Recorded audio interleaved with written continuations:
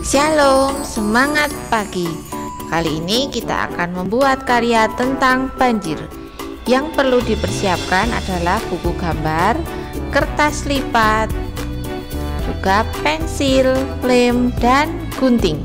Cara membuatnya adalah kita akan membuat dedaunan dibentuk seperti daun. Setelah itu, kita membentuk tetesan air dan awan seperti ini. Yuk kita gunting. Nah, sudah jadi.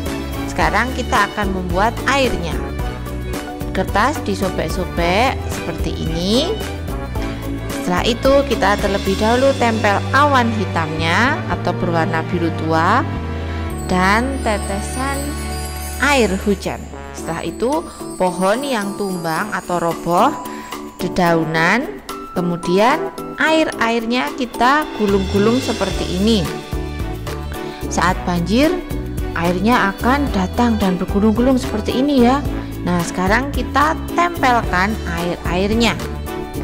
Nah, disusun boleh berwarna biru, putih, atau coklat juga boleh karena air banjir terkadang juga ada yang berwarna coklat.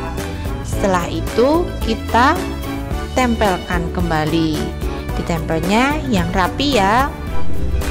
Setelah tersusun seperti ini, kita akan menebalkan gambaran dari tetesan air hujan. Nah, seperti ini ya. Oke, selamat mencoba. Shalom, keren itu sekolahku.